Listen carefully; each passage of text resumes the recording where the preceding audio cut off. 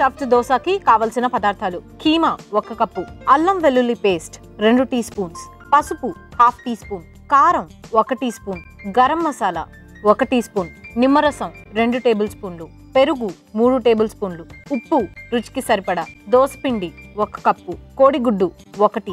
నూనె మూడు టేబుల్ స్పూన్లు. ఉల్లిపాయ ముక్కలు ఒక కప్పు. పచ్చిమిర్చి నాలుగు. కొత్తిమీర కొద్దిగా chaat masala half teaspoon. Keema stuffed dosa తయారు చేసే విధానం. ముందుగా పాన్లో నూనె వేసుకొని ఉల్లిపాయ ముక్కలు పచ్చిమిర్చి అల్లం వెల్లుల్లి పేస్ట్ ఉప్పు వేసి కాస్త వేగాక కారం చాట్ మసాలా పసుపు గరం మసాలా కొత్తిమీర వేసి కలుపుకొని కీమా వేసి బాగా వేయించుకోవాలి. ఆ తర్వాత దోశ పాన్ పై దోశ బ్యాటర్ను దోశలా వేసుకొని పైన నుంచి ఎగ్ను సమానంగా పరుచుకొని ఆ పైన నుంచి కీమా మిశ్రమం వేసి ఆ పైనుంచి మరోసారి కాస్త దోశ బ్యాటర్ ను వేసి రెండు వైపులా కాల్చుకోవాలి.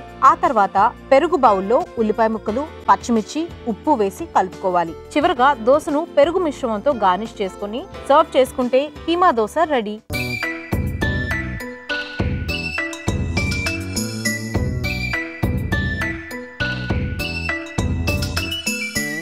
ఓకే అండి.